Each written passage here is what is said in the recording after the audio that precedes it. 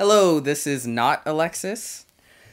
And um, as many of you who are in this channel know, Alexis is usually the one that reviews movies, but due to um, certain circumstances, he was unable to see this film. All of them being he did not want to.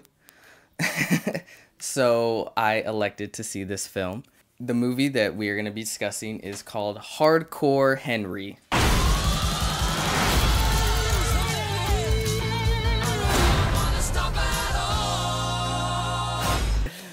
Okay.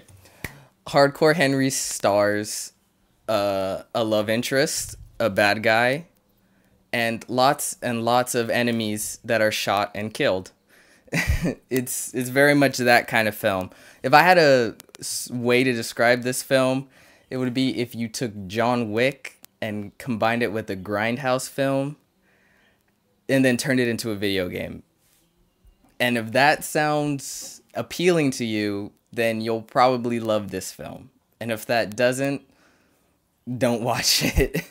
the, the movie starts out, you know, you wake up and yeah, you're apparently a cyborg and you've woken up by your wife who's also a scientist and you're attacked by the main villain. And from there, he takes your wife and the whole movie is just you through multiple levels of action and nonsense as you try and fight your way to get her back. I myself really loved the film. I had a lot of fun watching it.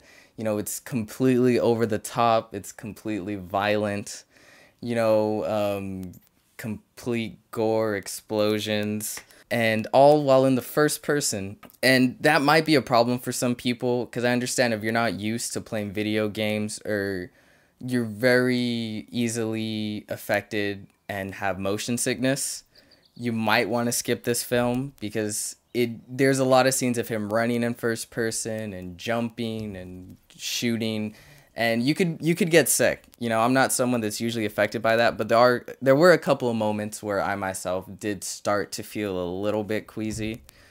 A real standout for this film is definitely Sharlto Copley.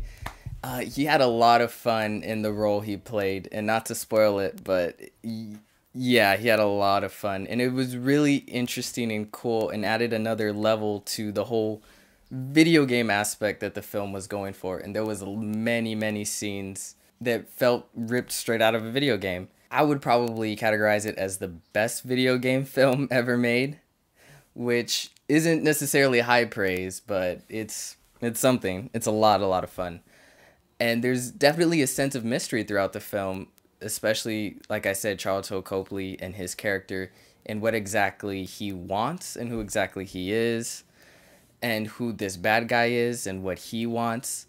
Not all the questions get answered, but it's definitely something that keeps you interested in the film when it does begin to slow down, which the film doesn't do very often.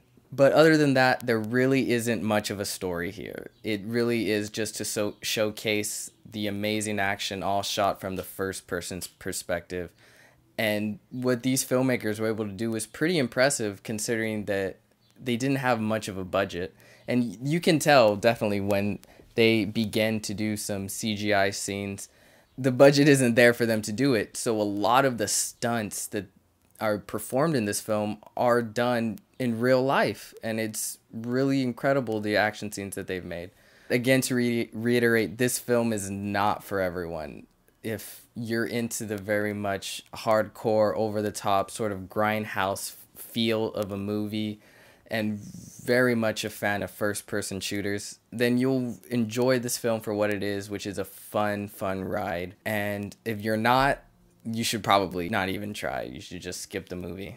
So once again, check out the trailer for this film. If it seems like something that you'll like, then you probably will like it. And if it doesn't interest you, then it probably won't. Um, this was my review. I am not Alexis. And this is the BNC, the place for all things movie news and reviews. Thank you. No. Stop it.